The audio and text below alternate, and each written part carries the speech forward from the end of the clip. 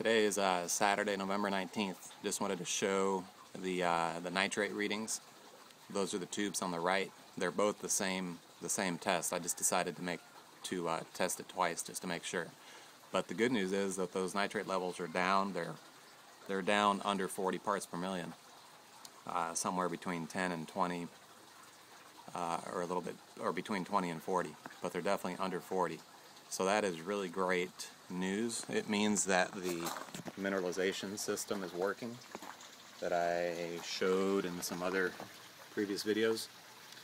And one of the interesting things that I noticed here, uh, as you can see, that's the that's where the water leaves the mineralization tank at the top, goes out this pipe here, and that pipe empties into the bottom of this degassing chamber and you see those bubbles that are coming out of the pipe there.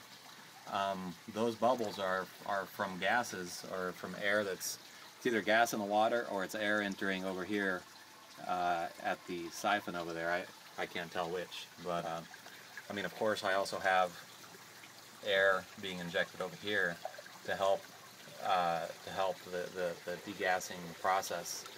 But uh, but I wonder if, if, that's that's gas right there coming out right out of solution um, as it enters the degassing chamber. I don't know.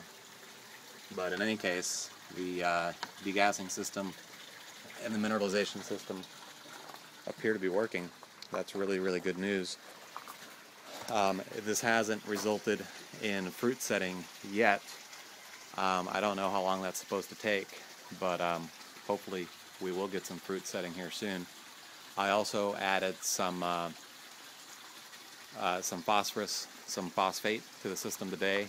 Uh, phosphate's supposed to help in the fruit setting process, and the uh, low levels of nitrate are also supposed to help in the absorption of phosphorus. So we'll see what happens. Maybe give it another week or so. I'm getting one little tomato here, nothing to shout about.